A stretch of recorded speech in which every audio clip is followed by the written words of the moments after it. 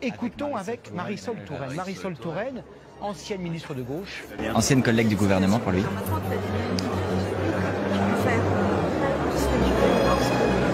Ah, dans un pays. Euh, tu peux l'embarquer. Mais on peut l'embarquer, je pense.